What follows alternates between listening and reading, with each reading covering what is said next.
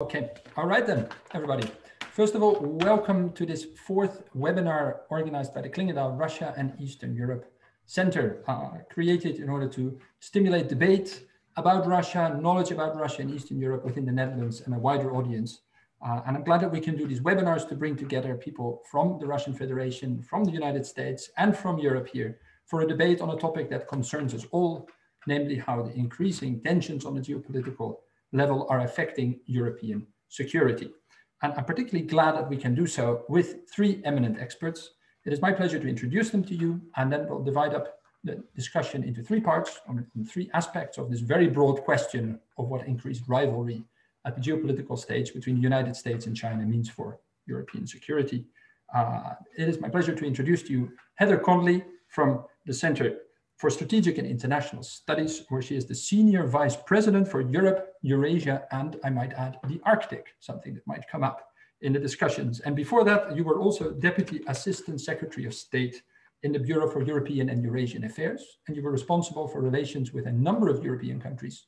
So I think you know our sensitivities and our concerns over here in Europe very well. Thank you very much for joining us. Professor Andrei Kortunov is the Director General of the Russian International Affairs Council, an eminent Russian think tank on international relations, who has authored an enormous slew of publications, I think over 120 now, on Russian US and Soviet US relations, on global security, and on foreign and domestic uh, politics and policy of the United States or of the, of the Russian Federation. And if anyone can tell us a little bit how on your side from Moscow you're looking at some of these questions, then it's you professor. So thank you very much for being with us. And last but not least, our very own Dick Zandee, who is the head of the security unit here at the Clingendael Institute, uh, who has a long and distinguished career with NATO, with the European Union, with the Netherlands Defense Ministry, and who was also a member of the Peace and Security Committee of the Dutch Advisory Council on International Affairs, and as such, helped to author a rather groundbreaking piece of advice to the Dutch government that I hope that we can touch on a little bit later. Now, uh, and my name is Bob Deen, and I have the honor of being the coordinator of the Clingendael Russia and Eastern Europe Center and to moderate today's discussion. Now, just a little bit of housekeeping. As you see, we have divided up our audience, unfortunately, into two parts. A part that is with us in the Zoom call. Uh, that audience can actually ask us questions that we'll pick up during the Q&A. It is already open now, so you can type your questions in there. And then after our initial introductions, I will pick up the questions and distribute them Uh, to the panel. So please make use of that. And I think you can now even vote on each other's questions. So if you see a good question from someone else, you can vote it and it goes higher and higher up in my list until I can eventually no longer ignore it. So please make use of that option. Those of you who are with us on YouTube, unfortunately, you cannot participate in the debate, but you have the advantage you can watch this anytime you want. So if you want to be in the live discussion, then register on our website and next time we can have you with us in the Zoom. So that is it from my side. I'd like to move into the first part of the discussion. We're starting really at the, the geopolitical level, and then we're moving down more to the European security questions. And we end up with very specific, something that concerns us in the immediate term, which is arms control, and in particular, the New START treaty. So these are the topics on the, on the menu. But uh, Mrs. Conley or Heather, if you permit me, the first question I, I just have to ask you, which is that it's been a very rocky ride for all of us, for you in the US, uh, for us here in Europe, the, the Trump administration and some of its actions, including troop withdrawals from Germany announced, questioning the role of NATO, withdrawal from multilateralism. And of course, that begs the question with the elections coming up, how much will it mean for us, depending on which candidate wins? Because we have a tendency to want to think that everything will go back to normal if President Biden would win the elections. Uh, and we have a, a, tendency to predict doom and gloom if not. These are larger trends. The pivot to Asia and, and, uh, and things like that started well before President Trump. So could you give us a little bit of a, of a glance into the future without going into forecasts on who might win, on what it is we can expect in terms of European security on a, in a Biden or a Trump administration? Thank you. The floor is yours. Bob, thank you so much. It's a great privilege to be with you and to join with Andre and Dick uh, for a really important discussion. Thank you so much. Well, I think as your, your question really captured the fact that the US security commitment to Europe has been waning really since the early 2000s, really after the conflict in the Western Balkans.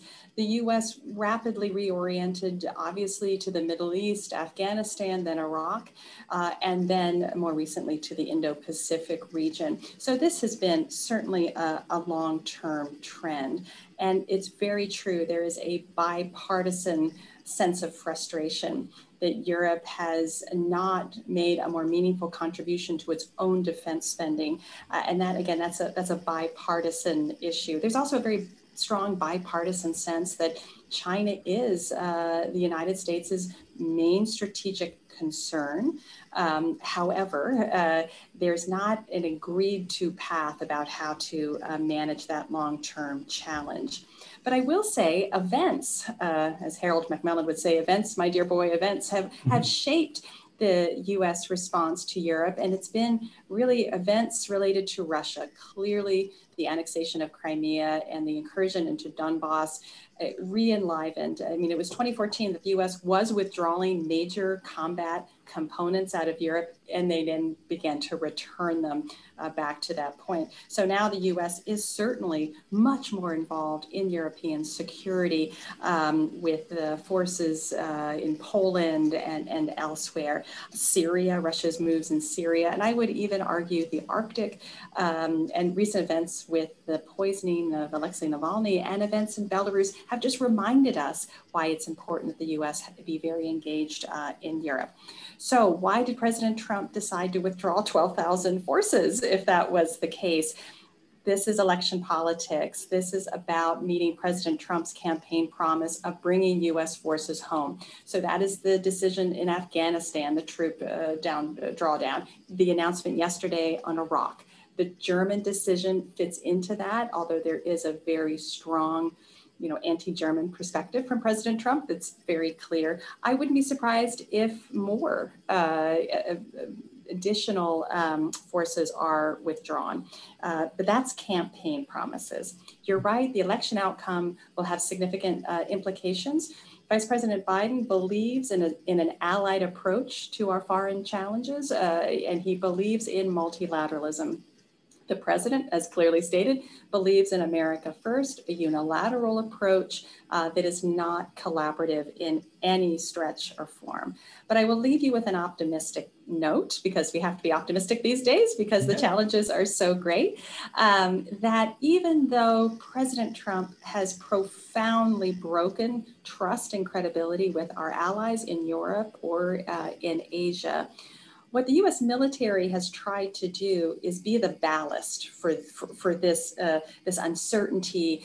And so what you're seeing is a, an attempt to strengthen US military intelligence relations with our closest partners to try to manage this unevenness. But I think we're now seeing with the German decision, even that is really coming uh, to it to its end. So huge challenges. Europe really must do more for its defense spending, even if Vice President Biden uh, is, uh, is the winner in November. Okay, thank you very much also for that, that clear signal that these trends are moving regardless of the specific elections, but we can expect big differences in not only nuance, but in, in general philosophy, if you will, towards multilateralism and towards working with allies. And thank you very much for that, for that summary. And then Professor Kortunov, the, the Russian Federation has long made it clear that it doesn't feel particularly comfortable in a unipolar world with, led by the United States, and that it, it also didn't really get the restoration of relations with the United States that it might have hoped for after President Trump was elected. Now, it does seem that the world is moving away from unipolarity, but maybe not in the direction that Russia would like. It might even become a more bipolar world with the US and China as the main adversaries. And then Europe and Russia find themselves wedged in between these two giants. Now, could you, for us, lift a little bit the veil on the thinking in Moscow on this, on how Russia sees this new world order emerging and what place it would like to have in there? Well, first of all, uh, thank you uh, for inviting me uh, to participate uh, in this event. Uh, it's a big question, of course. we have the official line, which implies that Russia stands for multipolarity though I think that uh, sometimes uh, there is no clarity of what this multipolarity means and whether mm-hmm. Russia itself can claim to be one of the poles in this multipolar world.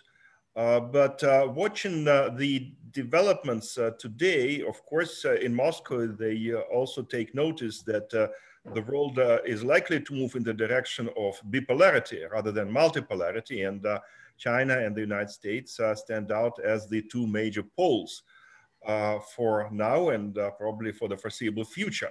Uh, I think that definitely there are some people in Moscow who would find these development positive. it is clearly better than potential G2 model or Chimerica, uh, which would uh, make uh, Russia marginalized in the international system. However, as far as I'm concerned, I think that uh, bipolarity is clearly not uh, in the interests of the Russian Federation, at least not in the long-term interests of the Russian Federation. It's true that Russia might uh, become more important uh, for China uh, in this environment, but uh, the side effects will also be quite significant. first of all, in this world, the existing asymmetry between the Russian and the Chinese potential uh, Uh, will be more explicit. Uh, and uh, the Russian dependence on China is likely to grow, which is not necessarily a good thing uh, for Moscow. Uh, second, and this is also something related to this asymmetry, is that Moscow in this rigid bipolar structure is likely to, use, to lose its freedom of maneuver. It would be very difficult, for example, to maintain uh, good relations with India and these relations are important for Moscow. It would be difficult to balance uh, relations uh, with China and relations with Vietnam or even with Japan. Uh, both countries are important uh, for Moscow and uh, their importance might grow uh, in the foreseeable future. But let me conclude with saying that, in my humble opinion, the choice that Russia really faces is not a choice between the West and the East uh, between China and the United States, the choice is rather about uh, self-isolation and integration. Uh, and I think uh, this is a critical uh, issue for the Russian Federation. Unfortunately, for the time being, I think we are moving uh, in the direction of isolation or self-isolation. I think that it might be something that certain people in Moscow might like, but the country at large uh, is not likely to win uh, in this uh, in, in this situation of self-isolation. I think that integrationism uh, is the only future. And I would emphasize not exactly multipolarity, uh, but uh, rather multilateralism, which Russia yet has to learn.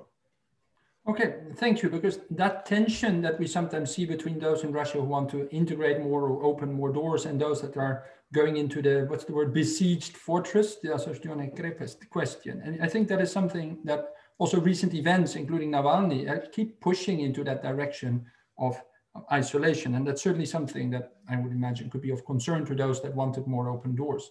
Maybe a quick follow-up question because you prompted it by mentioning India. I've just noticed that China joined the Kavkaz 2020 military exercises, that India was particularly unhappy about that and withdrew. So as Russia tries to maintain its good relations with the different actors, it seems that for now China wins the day. Is, is, or is that too soon uh, to already come to such conclusions? Well, the trend is there, but of course uh, it is still uh, only a trend. Uh, if you take the specific issue of India, uh, the uh, formal uh, reason for not taking part in the exercise was the situation with the pandemic in India. Uh, they said that, uh, sorry, but under the current circumstances, we simply cannot do it. And I would also add that Indians have proposed to have a separate exercises in the Bay mm. of Bengal as a kind of compensation -huh. for, okay. for, their decision not to take part in the Kavkaz exercises.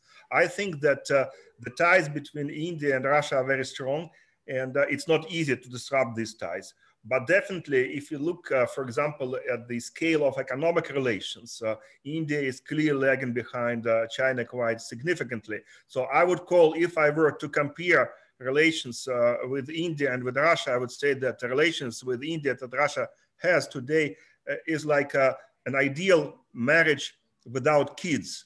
okay. and, and the relations with China are like a wild affair uh, without a marriage contract. So okay. it's I a think, question what is better? I think we just have the quote of the day from the webinar. Thank you very much, Professor. If I can move to you, Mr. Zandee, on this question on European responsibility for its own security. That is, has been sort of running through your career and through your writings. You've been long arguing that we should take much more responsibility ourselves and that we should also cooperate more with each other as Europeans, as European Union in the field of defense and security.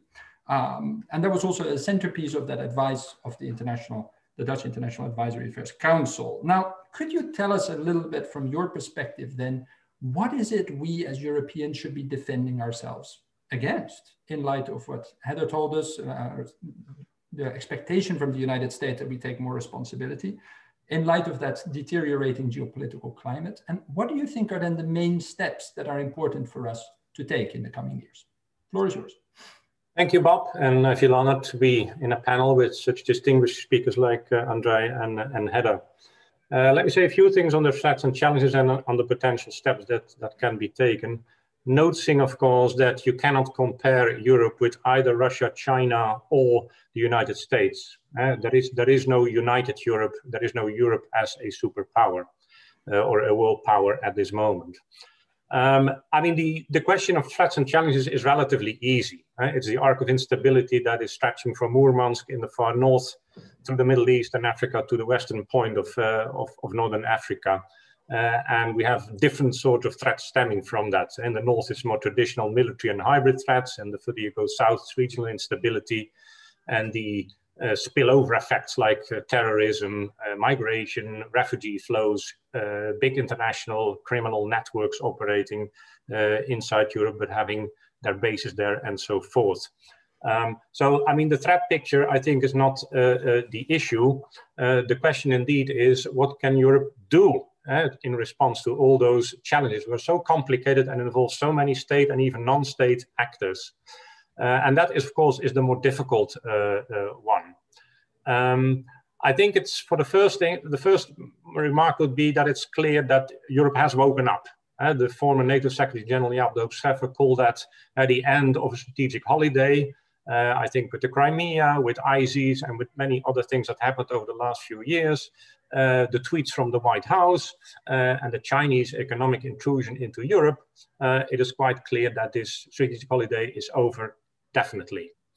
Um, so, in other words, Europe simply has no other choice than to become a player on the world uh, stage, leaving to the side the question if that is feasible in the foreseeable uh, future.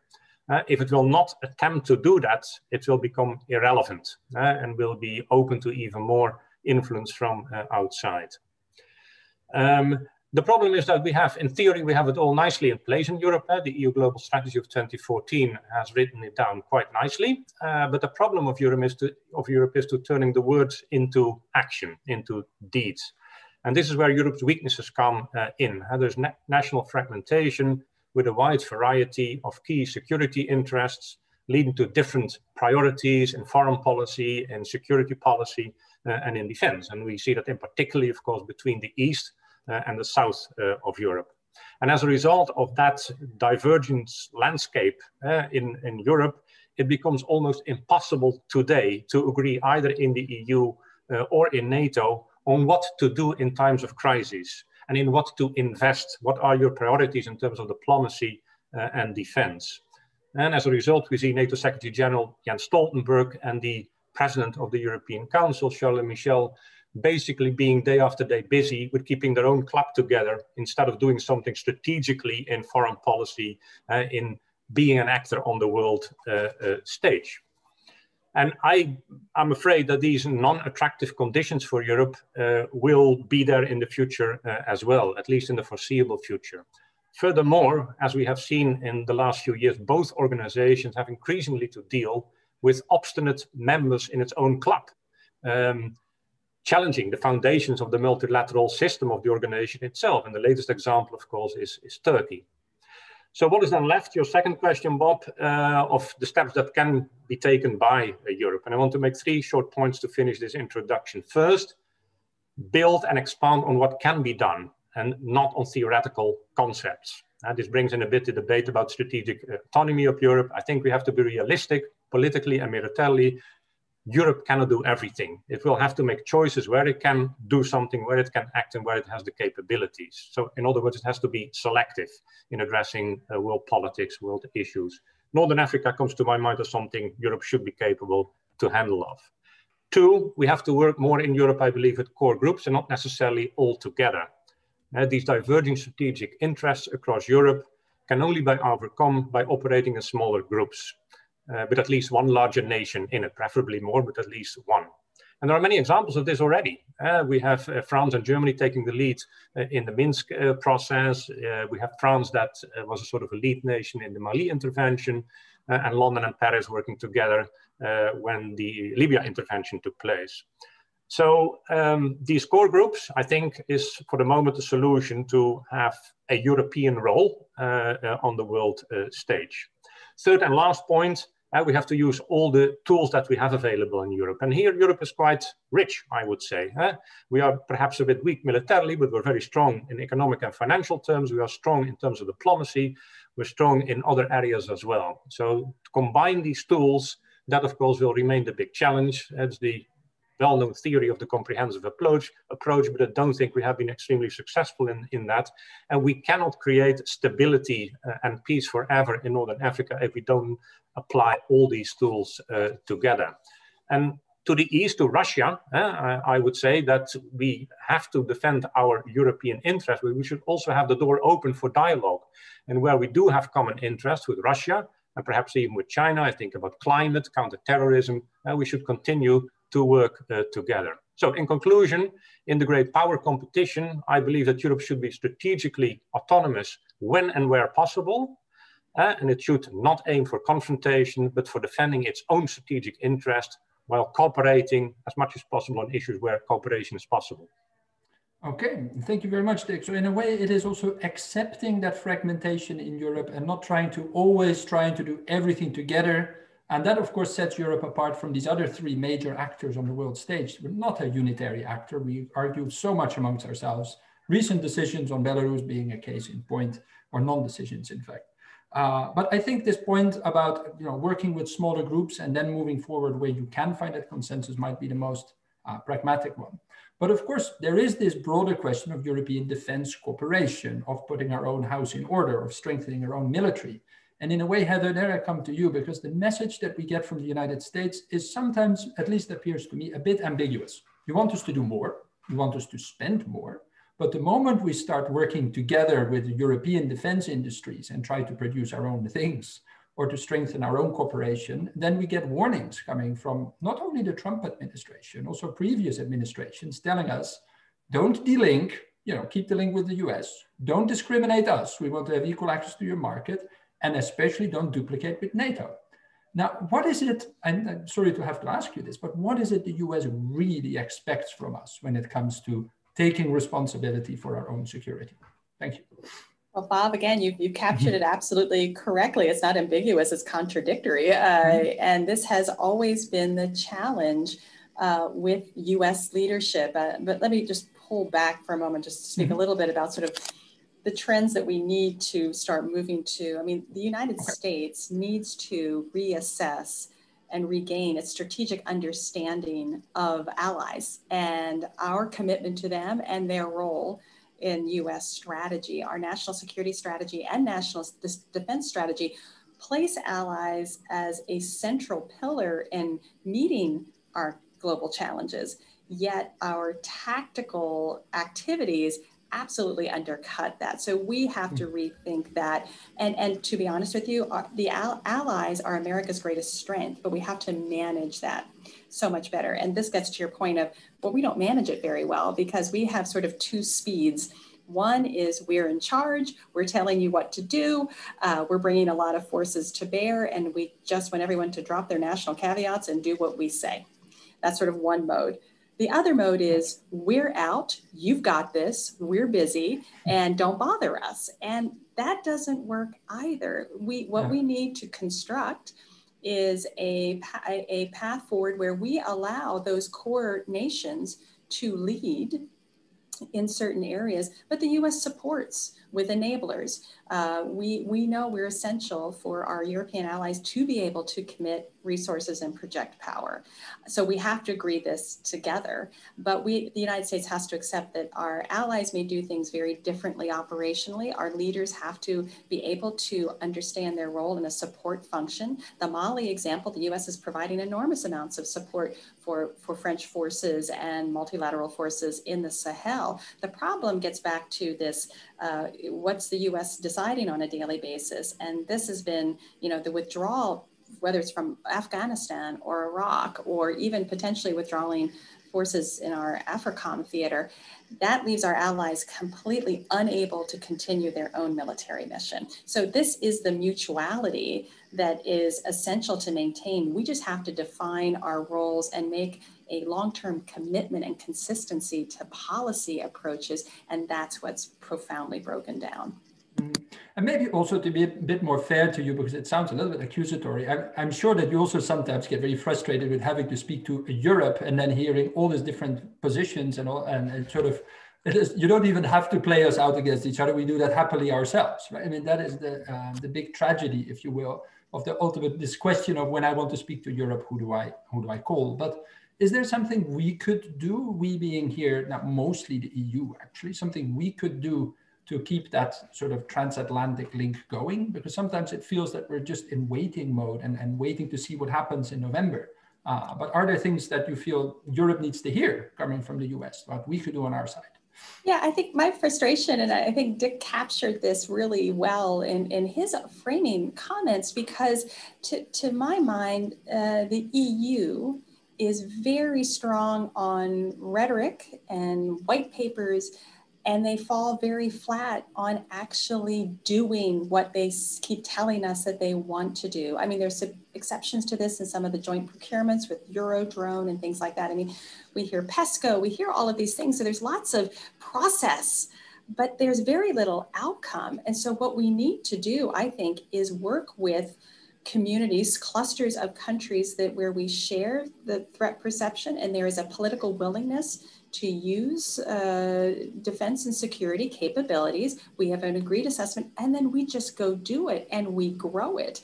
Stop with the talking, let's start doing. And so I think what we're seeing in some ways is a regionalization, a framework nation uh, concept playing out on the eastern flank. It's playing out in the North Atlantic with the United States, UK, and Norway taking a much greater leadership role uh, in the North Atlantic. I think the French are taking a greater role in the Mediterranean. We're starting to see that regionalization. And I think it's just the pragmatism of we have to have these capabilities if we want to ensure and enhance our security. So I think it's now time to start doing fewer paper writing and processes, more procurement, more engagement. And you're absolutely right. The US can, at the one hand, say do more and then undercut what Europe's doing. We need to support what Europe's doing and make sure we have a shared approach so we're not duplicating uh, unnecessarily or competing. That is silly. Resources are too scarce.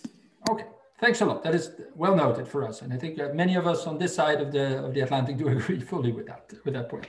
But then, Professor Kortunov, this brings me to you because often within these debates within Europe, Russia is cited as one of the main reasons why we need to do more on defense, why we need to invest more. Uh, and we've already, Dick mentioned Crimea. That was really a moment when Europe indeed did wake up and thought, okay, there is a, uh, you know, it's not all new threats. There is also still uh, the question of what Heather just called the East Eastern Front. Uh, but here, maybe looking at it from Moscow, I, sometimes Russian colleagues tell me that no, but we feel threatened by you uh, we almost feel like we're caught in a classic security dilemma. So as NATO strengthens its own military presence in Europe, so does Russia, and it, we get caught into an escalating buildup. Um, and you said in the past that uh, there are still, and I quote you, opportunities on common ground on security between Russia and the European Union. These are limited, but they are still broader than those between Russia and NATO. Now, if I could take you up on that, in the absence of a direct and, and constructive dialogue with Washington, are there steps that Russia and European states could take to restore a little bit of confidence in that acrimonious relationship? Are there some security issues we can cooperate on despite our differences? Well, uh, first of all, let me make a kind of uh, uh, side topic. Uh, when I looked at the ad uh, for this event, uh, and it represents four flags, mm. I noticed that the European Union flag is the smallest, which I think is not fair for Europeans. And clearly, when we look uh, uh, at Brussels from Moscow, the European Union still remains uh, by far the largest trading partner of the Russian Federation, the major source of investments, and also the best source of uh, social and corporate practices. And by the way, the Netherlands uh, uh, is very significantly engaged in the Russian Federation, even now, even with all the sanctions notwithstanding. for example, I'm not sure that Russia uh, could uh, have been so successful in its agriculture uh, without a major, major assistance from the Netherlands. but speaking of the security dimension, I am unfortunately, I'm not too optimistic about uh, NATO. The NATO Russian Council is half paralyzed, and uh, I'm afraid the situation is not likely to change anytime soon, especially in view of the most recent developments. Uh, but uh, if you take Russia and uh, the European Union, you'll see that on certain issues, the positions of the two sides overlap or even coincide. for example, uh, we are much closer with each other than we are with Washington, D.C. Uh, on the Iranian nuclear problem. Hmm. Uh, we are much closer with the, to each other on issues of the Middle East peace settlement. Uh, even uh, on Libya, I would say uh, there are opportunities for broader cooperation with the European Union, though, of course, there are different positions and different expectations of the results of the Syrian conflict. But I have to say that even within the European Union, as we know, there are very different views on, on Libya and how this conflict can and should be resolved. So I would uh, probably single out uh, the out of area problems as uh, uh one of uh, uh, potential opportunities for cooperation in the security domain between Russia and the European Union. I would also argue that uh, uh, there are uh, probably untapped opportunities in working on soft security issues or on issues which uh, belong to, I would say, non-conventional security challenges that uh, both sides face. Uh, uh you take, uh, for example, terrorism, uh, you take jihadists who get back Uh, to their home countries. Definitely some uh, cooperation between uh, Russia and the European Union would be in interest of both sides. a lot will depend on how far the European Union is ready to go in its own security uh, uh, strategy. To what extent uh, Russia can consider the Union to be a full-fledged partner, given the fact that, of course, it, as it has been mentioned before, the strategic autonomy of the European Union is still, to a large extent, a dream and uh, we still don't know uh, uh, whether it is going to be something more practical. But uh, as I mentioned, and let me emphasize it, I think that uh, uh, in certain ways, it is easier to work with the European Union than with NATO, though in some other areas, the United States is still indispensable. Uh, you cannot work with Europe uh, without uh, going to Washington, D.C., and this is something which is well understood in Moscow. Yeah, yeah, noted. And we'll come to indeed, um, especially with arms control, that seems to be the case. But there's one topic that actually Heather has in her job title, and Dick has just published on, and I know you also know a lot about, and that is the Arctic. Uh, and maybe, uh, Dick, if you could tell us a little bit more on the risks of the, the high north or the Arctic becoming a new area of geopolitical confrontation, uh, where Europe is not always entirely in the driver's seat. I think Heather mentioned also this framework nations concept. Are there things that we can do to avoid the Arctic from becoming yet another area of confrontation um, between Russia, Europe, and maybe even China? The floor is yours. Just, just unmute myself. Yeah, um, yeah, yeah I mean, I mentioned climate change already uh, in my uh, initial uh, remarks. That that might be an, uh, a topic to uh, to cooperate uh, with Russia and, and, and also with China and with the other countries in the world. Uh, and the Arctic is partly about climate change, eh, because the fact that it is uh, step by step becoming an area of great power competition, of course, is directly related to the melting of the ice uh, in, in that area. Um, fortunately, I think we still have something there in place with, which works. Uh, all the Arctic countries, eight of them in total, including Russia, uh, the United States, uh, are cooperating in the Arctic Council, uh, and it's still working pretty well. Uh, the dangerous developments outside the framework of the uh, Arctic Council. The Arctic Council is by mandate not allowed to address military issues. So it deals about economic and, and environmental issues and things like that. Uh, the danger is that outside the cooperative the framework we have at the moment, something is step by step developing, which is threatening the Arctic cooperation. That is where I have my concerns, which was written down in the report we published indeed earlier this year. And we think should, something should be done about it. Uh, what we have to do is that primarily, of course, the Arctic countries, but others could play a supportive role in there to uh, start negotiating a new set of rules, conflict prevention type of rules in the old days, we used to call them confidence and security building measures. Perhaps we need a new term today, uh, but to reduce risks and to reduce in crisis situation that it might escalate very quickly to something uh, worse to happen. Uh, and that is perhaps an area where Europe can play a role in, the Arctic countries in particular, of course, and Russia can also play a very positive role because Russia has a clear interest here. It has the largest Arctic coast, uh, thousands of kilometers long, and it wants to have a stable environment there for economic purposes. Uh, and therefore, uh, agreeing with all the countries around the North, uh, the Arctic area on such a set of rules is also in the interest of Russia. Thank you very much. And I would like to follow up on the Arctic, but I think my time is running out because the audience is starting to type their questions and some of them are indeed very good and I want to make sure they get asked. So I'll just move to the last part of our uh, pre-planned discussion on arms control. And now I invite everyone to type your questions in the Zoom so I can give you the floor in a bit late, uh, in a bit later.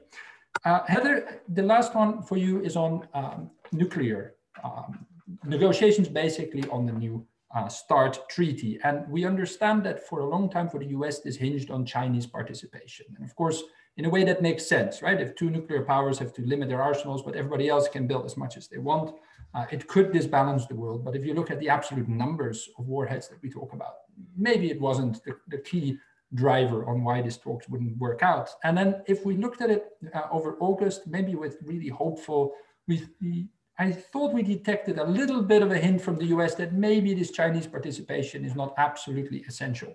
Could you give us your view on the current thinking in Washington on that so crucial treaty for us here in Europe uh, on the New START treaty? Thank you. Well, I think it is true that uh, China does need to begin to be a more active participant in the arms control uh, universe uh, because of our own concerns about uh, the transparency and, and developments. But uh, the reason the US has softened its position is because the Chinese have absolutely refused to participate in those uh, conversations. You can put their flag there and you can embarrass them that there's an empty chair, but they weren't coming. So I think this is more the US uh, acknowledging uh, that it was unable to force China to the table. It even asked Russia to try to help force China to the table, and it just didn't work. Um, so I think now you do see a more concerted effort um, bilaterally with Russia.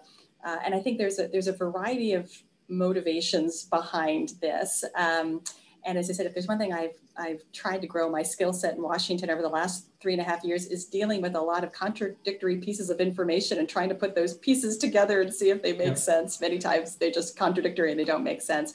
So the president noted the other week that he said that the, the US Russian bilateral uh, talks were going well. Uh, he, he, suggested that they were negotiating a new non-proliferation uh, treaty or new arms a new arms control agreement, and that it would be. Secretary Pompeo said it would be finished by the end of this year.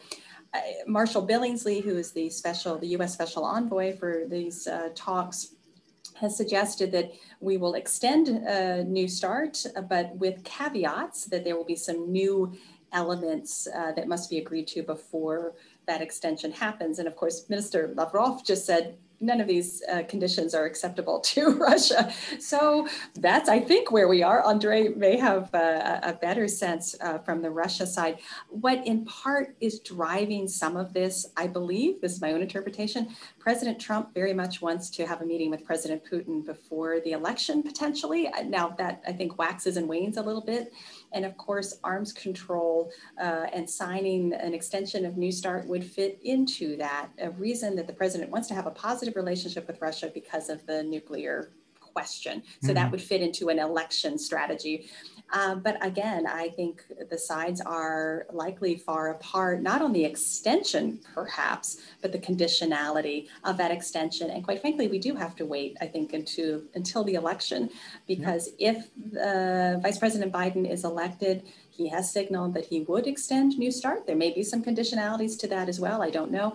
But as I said, I think this may get caught up a little bit in election politics. But the most important thing here is just to pull back again the arms control architecture that was painfully built over decades is now nearly gone. I mean, it is mm-hmm. almost gone now with Open Skies Treaty with the US withdrawal. We have to urgently rebuild a new arms control architecture that, yes, incorporates China into it eventually, but deals with new weapon systems that are coming online, uh, space. It needs to deal with a wide, wide variety of issues that we have allowed to sort of atrophy for far too long. So this is a moment of despair for the arms control community because this architecture is, is, is now almost completely uh, gone.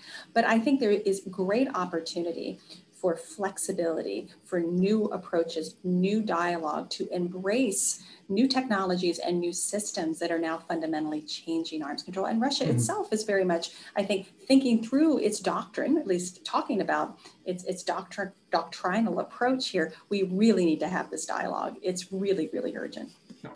Well, Andrey, then it comes logically to you. And when we were preparing this debate, you told me actually there is almost no arms control left. So what is there to discuss? Now, maybe we should indeed discuss what Heather just said, the urgency of the entire system crumbling and New START being one of the last vestiges remaining of the, the old arms control systems, if you will. And I can imagine that also some in Moscow might not be too keen to engage in yet another super expensive uh, arms race at a time when all our budgets are under stretch, but yours are also affected by lower oil prices, by COVID. So is there still some glimmer of hope in also what you've just heard from Heather? Are there opportunities to rebuild or reconstruct some of the arms control agreements uh, according to Moscow? Well, uh, first, let me say that um, Uh, I agree with Heather, and I always agree with her. uh, and definitely, we have a problem. We have a crisis, uh, and no matter uh, whether the new start uh, uh is uh, extended or not, definitely we are coming to the end of the existing arms control model. It will be a bumpy road, and I'm afraid that one of the issues that we have here is that leaders all over the place, including the United States and the Russian Federation do not put arms control on top of their political agendas. And I think that we experts and, uh, uh, and the public at large uh, should take a part of responsibility for that uh, because we do not promote the ideas of arms control. And people uh, get more information uh, about how to limit plastic bags rather than how to limit nuclear warheads. And uh, I understand that plastic bags are an important problem, but uh, I think that there is still place uh, uh for the uh, nuclear arms uh, in the in the in the public consciousness. I agree with Heather that we should think creatively about a new architecture or about a new arms control ecosystem, and clear enough that it will be very different from what we have right now.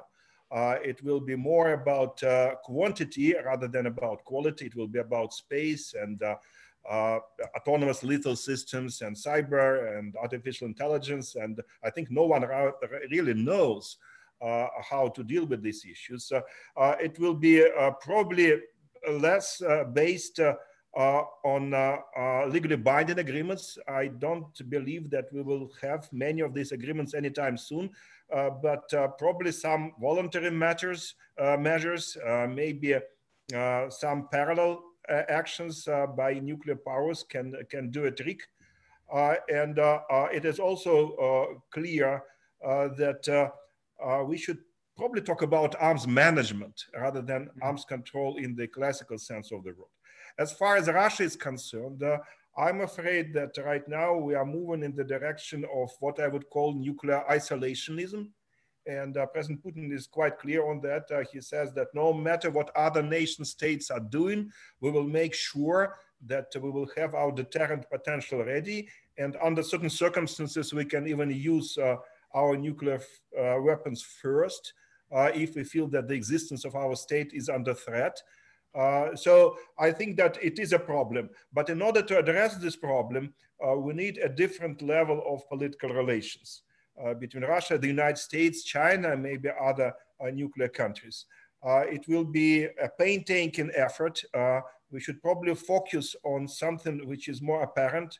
For example, on non-proliferation issues, how to prevent proliferation, how to deal with the threat of nuclear terrorism, and gradually, very slowly, building trust and building some confidence, uh, we can uh, get uh, back to more rigid, more formal, uh, maybe even to legally binding agreements. We will have to cross what I would call a death zone. Mm. it will be a bumpy road, at least a couple of years.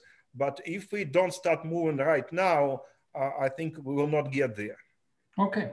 Thank you very much, uh, Professor. And also your point about keeping it on the agenda is crucial. Now, as a modest as we are at the Clingendael Institute, of course, we try to do that. And for those of you watching on the 18th of September, uh, not long from now, eight days from now, we're bringing together Thomas Countryman from the Arms Control Association, Sergei Batsanov, probably not unknown to you, um, Andrei of Pugwash, and our own Sicko van der Meer for a webinar specifically on the Nuclear Non-Proliferation Treaty on the review conference. So I will park arms control here for now, if you permit, because there are some questions in uh, from the audience that I really want to ask. And one of the uh, participants has asked two questions, Neil, uh, and they're both excellent. Now, Neil, in the interest of time, I'm going to give you the chance to, answer, to ask one of the two questions. the choice is yours, but they're both excellent, so I wish we had time for both.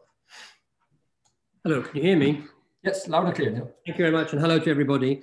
Um, I'll perhaps I'll, I'll, I'll, go to the first question because I think perhaps all the all everyone might want to come in on that, and that is really this question about. I mean, we've had a series of efforts to have resets, which have normally had the West as the demandeur, uh, which have all failed. Most recently, of course, President Macron's. Andrey's comments got me thinking about could we actually begin to see an opportunity where Russia is a demandeur for a reset because it's room for maneuver is increasingly restricted in the Indo-Pacific as a result of the rise of the, of the China-US uh, bilateral competition. And since Russia has used the Indo-Pacific relationships as a counterbalance to, to the West since 2014, does this mean that Russia might start to look for new openings and, and, a new dialogue with the West. So then my second question is, then what would Russia realistically offer? And, and I mean by this of course, we can do confidence building measures and some of the softer security things that Andrey mentioned, but ultimately we have to get down to the hard security questions and the, the red lines which, which the, the West feel have been violated. So would Russia be willing to move in any of those areas or what might they be? Thank you, Neil. Professor Kortunov. Yeah. Well, first of all, uh, let me say that uh, I'm uh, very concerned about the most recent developments, uh, namely about the events in Belarus, and uh, Russia seems uh, uh, to harden its position, initial position in Belarus, which is not exactly a good sign for the future of the relations between Russia and Europe. And of course, this atrocious crime, you know, this poisoning of Navalny. and again, this is something which does not allow me to be too optimistic about uh, any reset in the immediate uh, future. Uh, we know that uh, uh, they still are working on the timing of President Macron's trip to Moscow, and French have just postponed the two plus two meeting between foreign and defense ministries. so there are issues. Uh, and uh, I keep asking myself uh, why Russia is not moving faster. Uh, because six months ago, when the pandemic started, I thought that that was probably the moment of truth. And this is something that we should allow all of us uh, to put uh, our disagreements uh, aside uh, and to start working together. there are many reasons why Russia is not as active as some of us would like it to be. I'm thinking about institutional inertia, for example. I'm thinking about a concern in Russia that its flexibility might be interpreted as a weakness and might be used to exercise more pressure on the Kremlin. Uh, it uh, uh, might be also an expectation that the West will come out of this crisis relatively weaker than Russia and China, and that would allow uh, the non-Western countries to exercise more power. But uh, responding to this uh, issue, what Russia can do, I think that, and this is my first, Uh, my, my, first uh, guess, is that uh, Russia could probably demonstrate more flexibility uh, on the Ukrainian issue because Ukraine remains the major problem which uh, uh, divides Russia and the West. I, I try to be realistic. I don't think that Russia can will be willing, the Russian leadership will be willing to discuss Crimea right away. but in terms of the modality of the Minsk agreements implementation, I would personally recommend the Kremlin uh, to exercise a little bit more flexibility, given the fact that uh, uh, the Ukrainian side is not capable of implementing these agreements in full. So I think uh, this is something that we should keep in mind. Uh, second, I would get back uh, to the out of area issues. I think that Russia could probably exercise somewhat more pressure on Assad in Syria, especially on the issue of detainees and refugees coming back to Syria. And uh, I hope that that could be appreciated uh, in the European Union. But uh, I don't think that there is any magic solution. So for me, the most important thing right now is to resume full-fledged uh, communication lines uh, with the European Union and to work on relatively smaller issues uh, like the green agenda of the European Union on 5G, Uh, uh, on uh, uh maybe sub-regional cooperation opportunities. Uh, but again, let me conclude uh, to state that I'm very concerned about the most recent development, and I'm afraid that we might be sliding to a new crisis in the relations, not just with the United States, but with the European Union as well. Uh, thank you. And also by saying that you've answered one of the questions or comments that one of my colleagues, Hugo, made just in the chat, that if we don't invest in the Ukraine crisis, which seems to slip off the agenda despite its enormous importance on Russia-Europe US relationship, then uh, Hugo's point is that then strategic conversations don't get you very far because you still have this deeper uh, stalemate with Ukraine at its center. So thank you very much, um, Andrey, for that. I would like to now give the floor to Martijn, who has a question uh, on the consequences of Brexit. Martijn, floor is yours. Very actual at the moment, I might add, Martijn, given everything that's going on um, uh, in the parliamentary debates there. Yes. Um, hello, and thank you for having me. Um, okay. Well, as, as stated, uh, Europe is in need of its own common defense policy outside or alongside NATO, since that organization offers no longer a full guarantee of security. However, uh, with Great Britain as a military and also a nuclear power set to leave the Union next year, um, how can independent or semi-independent uh, military security in Europe be achieved? Um, should we rely on France solely as a nuclear power? Now, Dick, I know that you have certain thoughts on this, so I think that question well serves you uh, in your, your quest for European strategic autonomy post-Brexit. Now.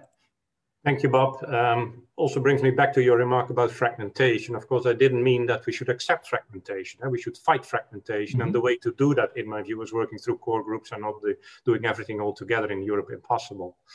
Uh, this is a key question, of course. Uh, uh, what will be the position of the United Kingdom if Brexit is finally uh, done, 1st uh, of January, uh, without or with the deal? Doesn't matter effect for security. it's still in NATO, of course. that is, that is, of course, a key factor. and I assume that NATO will continue to exist and hopefully do a bit better when we have had the elections on the 3rd of November on the other side of the pond.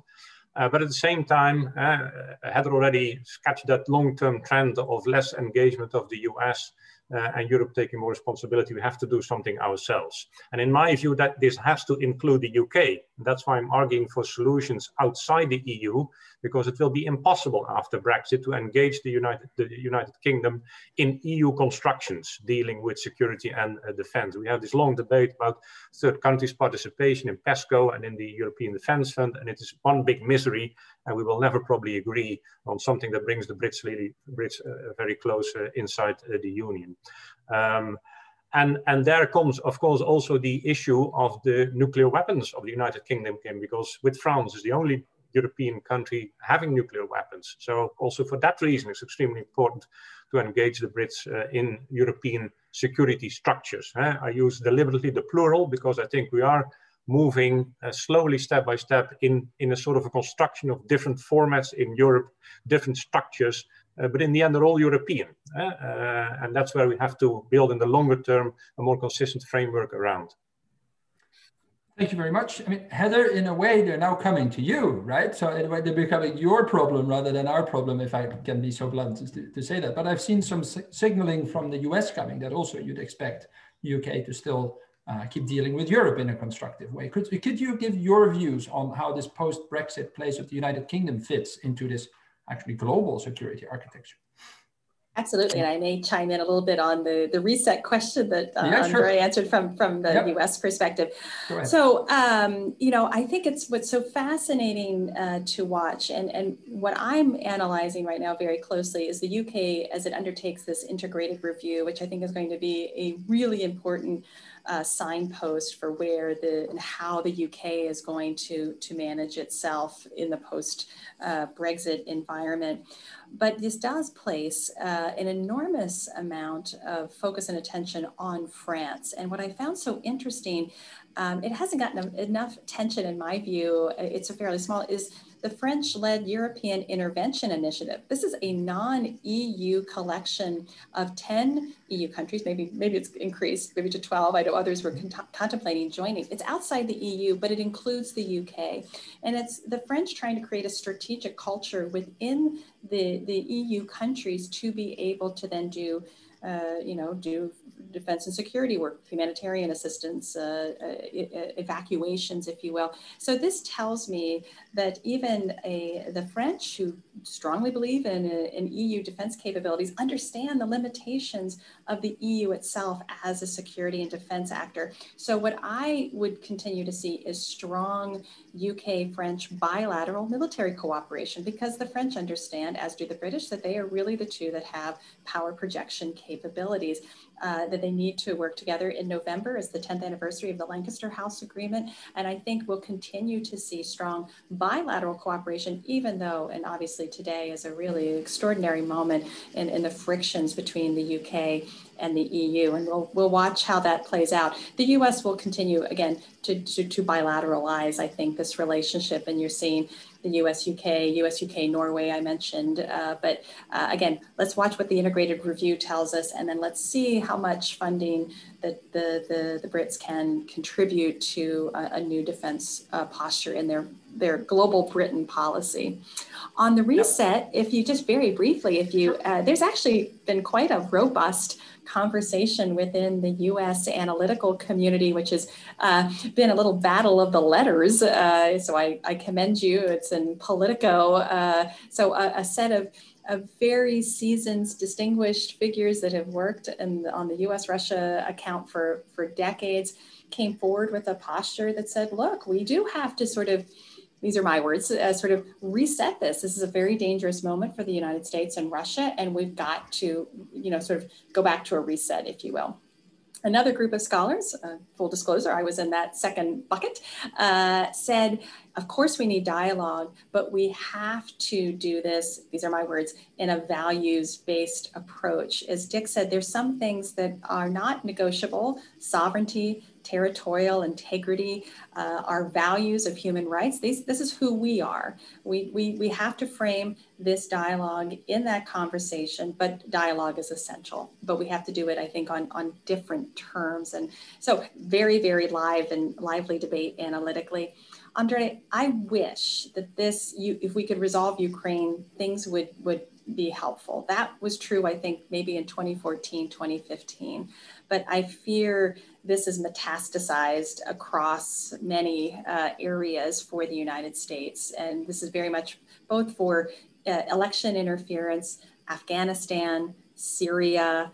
It, it, this list does does grow, and, and so I think it does take a more comprehensive reframing of the relationship. And I think I'll, I'll, I'll, turn it back to where we began the conversation with this, you know, the, the, the bipolar multipolarity dynamic.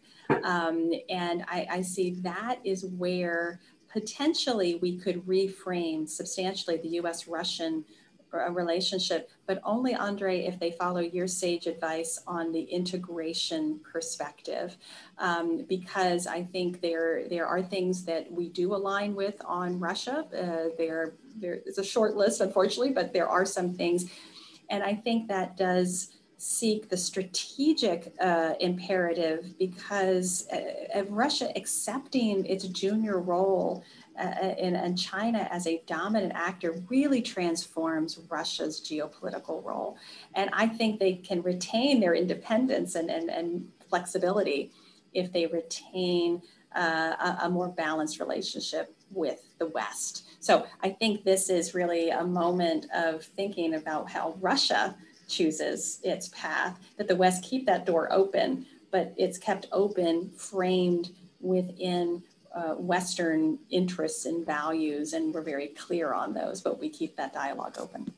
Well, Heather, that would already be an amazing closing statement of the webinar, but I think it would then be interesting to give Andrey the floor to respond to those, because I think it's also very nice of you to give us an insight on the debates going on inside Washington on reset or, or value-based uh, open door dialogue. But Andrey, uh, listening to that, could you give us your concluding statement? And then to those questions that are in the group that I wasn't able to answer, uh, I will find a way of actually mailing those to the speaker. So my sincere apologies, including to our, my very own colleague Jochem, that your question is not going to make it to the finish line.